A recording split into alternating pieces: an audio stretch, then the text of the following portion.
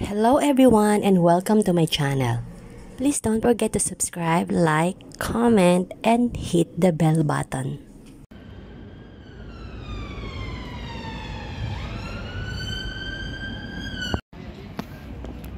Might be that it needs to put the number in.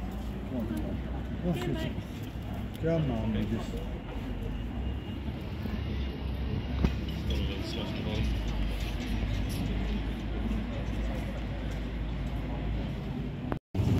Ayan, sasakay kami dyan.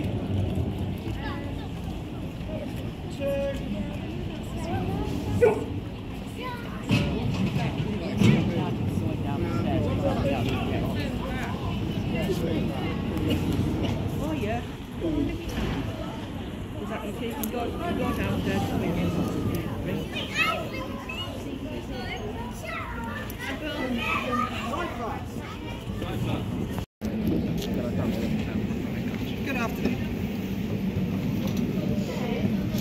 Welcome aboard.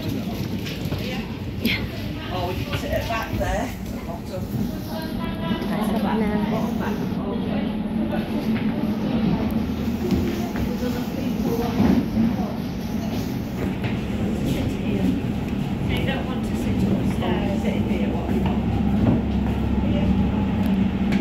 Yes, the toilet.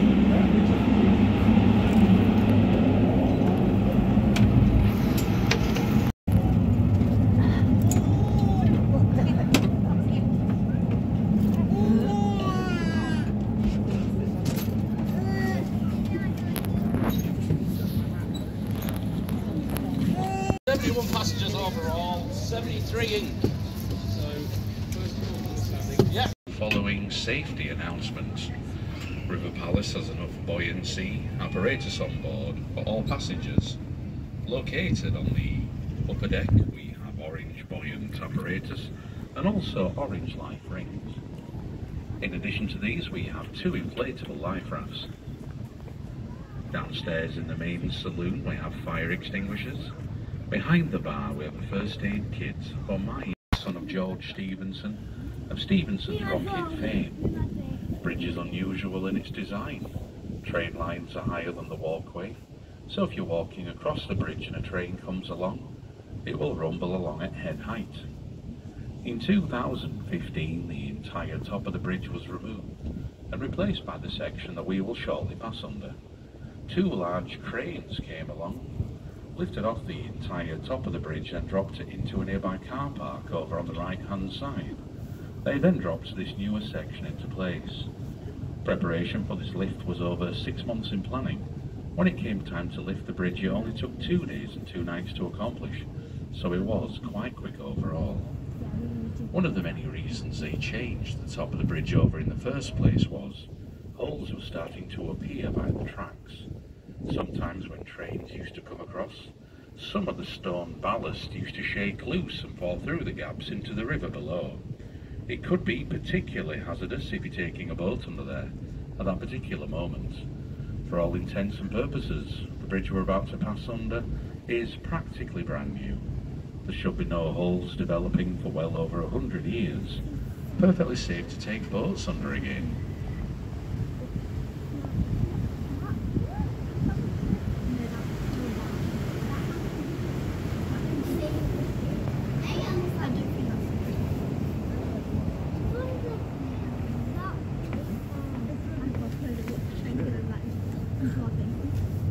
Yeah, I wonder if that hand in.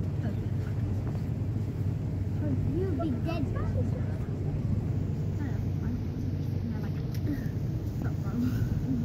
Hey, I like this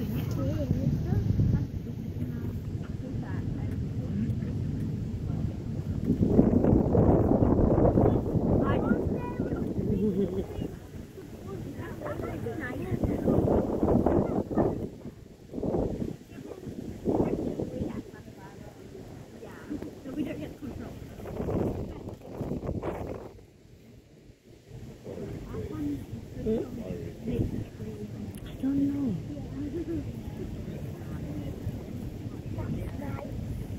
This is nice how that that that. Oh,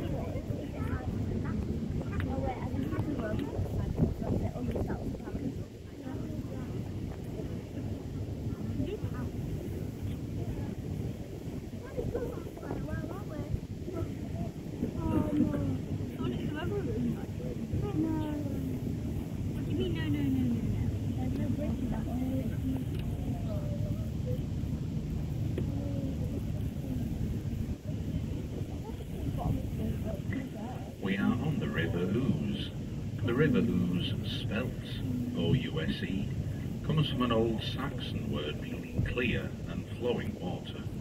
I'm sure you will agree that the Ouse is flowing. It just doesn't look particularly clear. The reason for this is it travels through a lot of peatland on its way down here, bringing with it all kinds of sediment as it goes. Despite the way that it looks, it's clean enough to support quite a lot of aquatic life, and you will find the following fish species here in the Ouse. We have tench, perch and chub, pike and eels, and believe it or not, on the upper reaches there is also salmon and trout. Oh. The question we get asked quite often is how deep is the river? Obviously it can vary in places.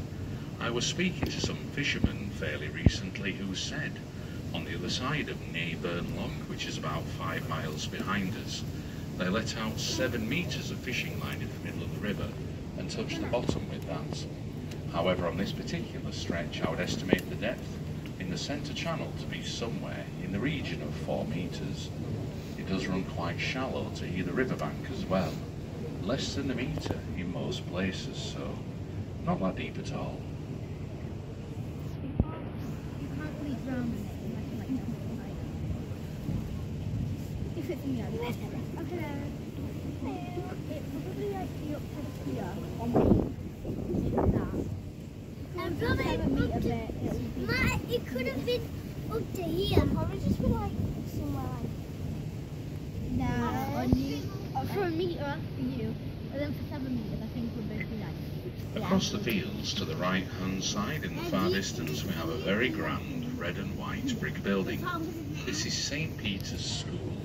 It's one of the oldest established schools in the country, if not the world. It was originally founded in the year 627 by the Archbishop Paulinus. Over the years it's had quite some famous pupils attend, one of which was John Barry, who is best known as a composer of popular movie themes, most notably the James Bond theme for the James Bond movies. Mr. Barry wrote the soundtrack to 11 Bond films as well as such as Dances with Wolves and Out of Africa. Another pupil at that same school, although quite some time ago now, was Guy Fawkes, leader of the infamous gunpowder plots of 1605, and some people say the only honest man to ever enter the House of Parliament. Like a lot of places in the UK, the school does have a bonfire and firework display on the 5th of November. The only real difference is they do not burn an effigy of Guy Fawkes. This is because they believe it would be in bad taste to burn an effigy of a former pupil. The school also claims to have Guy Fawkes' original school desk there also, complete with his name scratched into it. Over to our right hand side we have some stone steps that lead up from the river towards a large green boathouse. This is the boathouse of St Peter's Rowing Club, part of St Peter's School. Rowing is quite a popular pastime here on the Ouse. Professional competitors from all over the UK come to race on this river. If we were to continue in this direction for a further 28 miles, we would eventually find ourselves in Ripon. There the River Ouse is joined by the rivers Nidd and the River Swale. River then changes its name to the River Ure. To get to Ripon, we need a much smaller boat than this one, due to the narrowing of the river in places. Also, there are some locks to navigate. It's estimated it would take nine hours. Last means I want to go left or port. Three means I want to go reverse or astern. Since we are turning on the bend of the river, I'm required to sound the horn twice before turning. It can be a little bit on the loud side. I'm just going to sound the horn now. That was loud. Do you know what? That's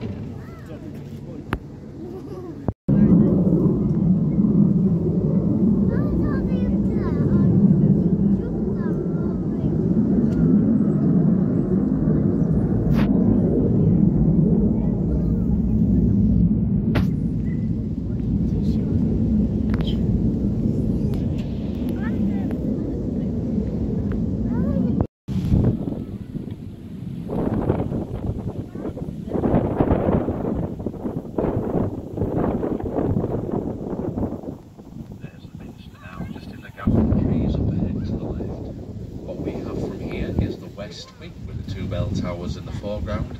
In the background we have the Great Central Tower. The Great Central Tower. It should come as no surprise that it costs quite a lot of money to keep York Minster in a good condition. A 1967 survey revealed that parts of the Minster, including the foundations to the Great Central Tower, were at risk of collapse. By 1972, two million pounds had been raised and work began to reinforce the structure. All well and good till you get to the 9th of July 1984, where a fire, believed to have been caused by a lightning strike of all things, set fire to the roof of the south transept. That cost a further 2.5 million pounds to put right.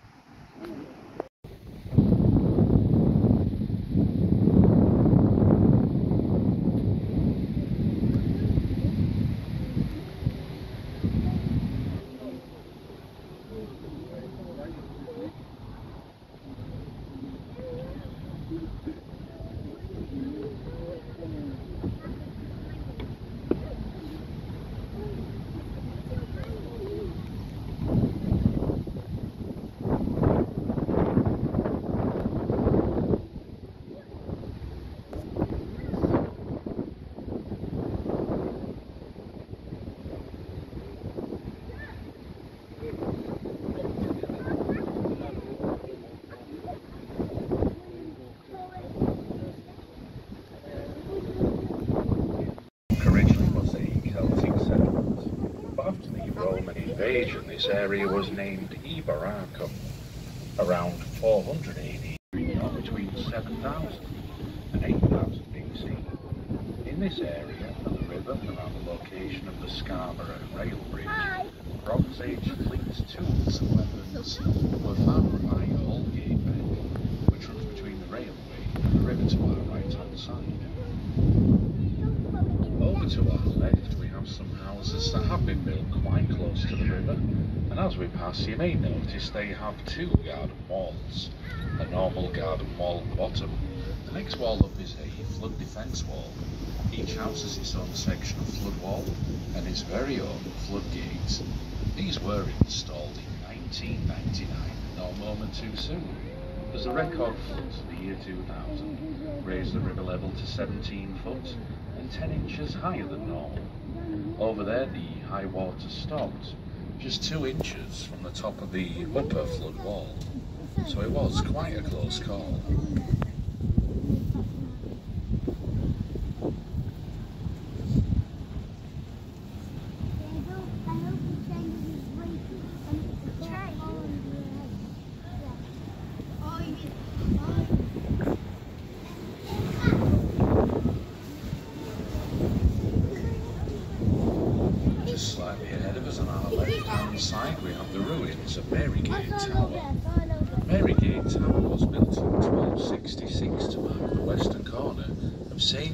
Abbey.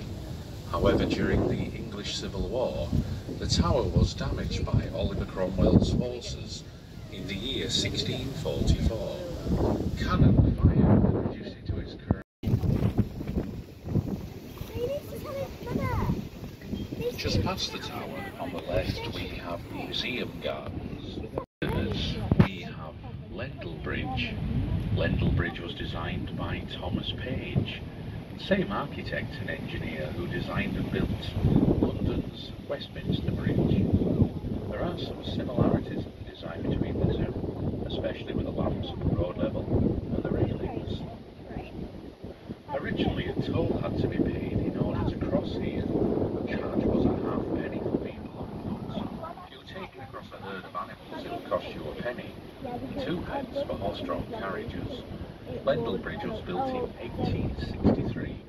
It's the second attempt at building a main bridge here. Three years earlier, in 1860, a bridge which was designed by William Dredge collapsed during its construction. There were some fatalities, unfortunately. That bridge was then salvaged from the Ouse and then sent to Scarborough, where it became part of Scarborough's Valley Bridge.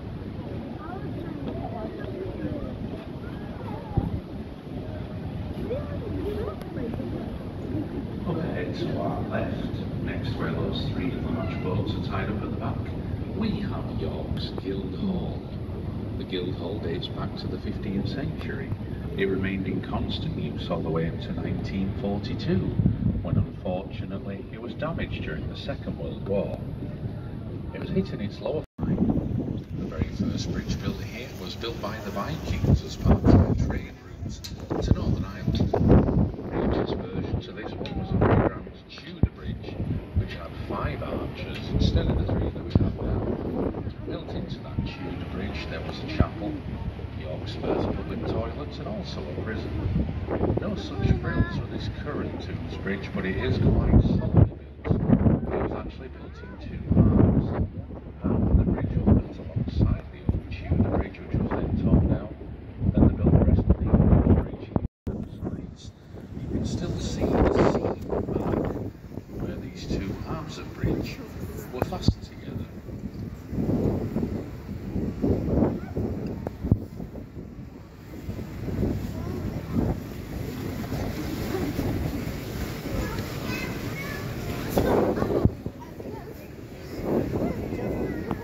The river, the left-hand side, is known King's Staith.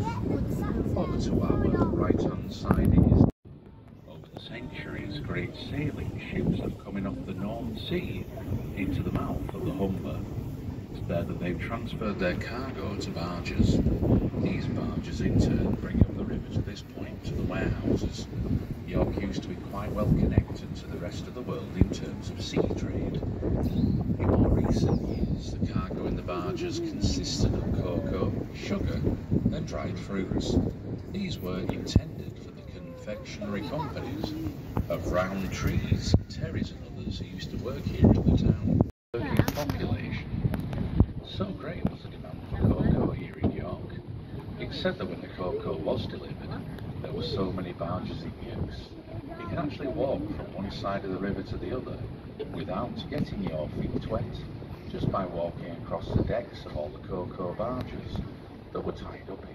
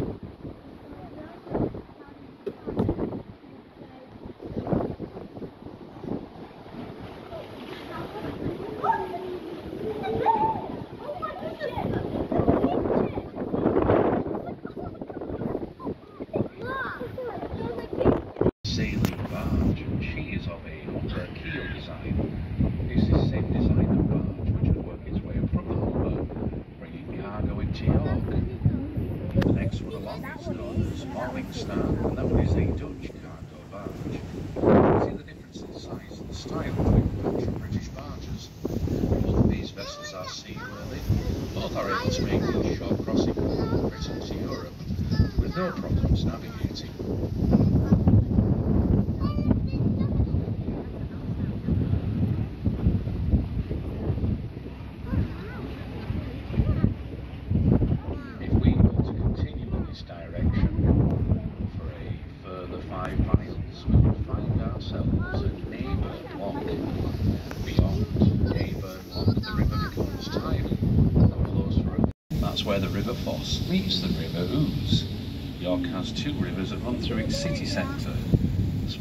Foss River to one side, and on this side the Ouse.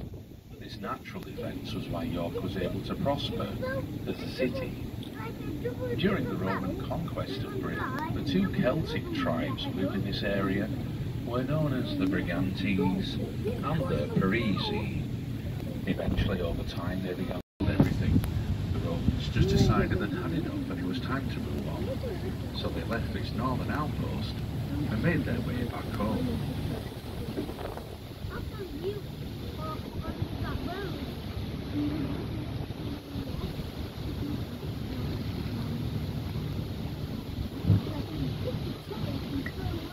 Ahead of us, we have Skeldergate Bridge. Skeldergate Bridge was also designed by Thomas Page, same architect and and built London's Westminster Bridge, as well as Lendal Bridge that we saw earlier. Of these three arches across the river ahead of us, the right-hand arch used to open up to allow sailing vessels through, so they didn't have to take their masts down. Spanners used to open outwards. Road used to lead to Blackdraw Bridge. Last time the right-hand arch was opened was in 1971. That was to allow a pair of Royal Navy inshore minesweepers through and into the city as part of a courtesy visit. Since then, the lifting mechanisms have mostly been removed. The right-hand archway now stays permanently closed. Considering the amount of traffic that passes over Skeldergate these days, that can only be a good thing, as York certainly doesn't need any more traffic jams. Skeldergate by name translates as streets of the shield makers.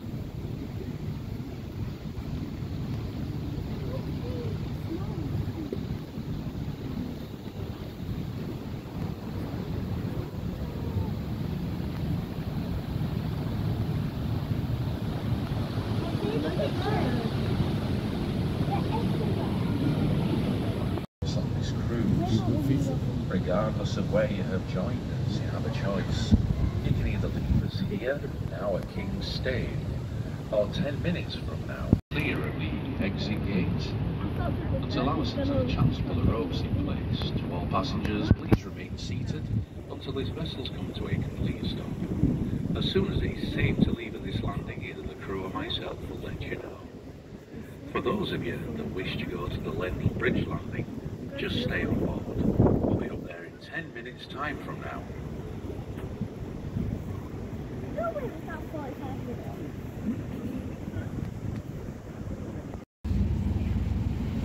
want to go down that. I hope you like this video and that's all for today. Thank you so much for watching. See you again next time. Bye-bye.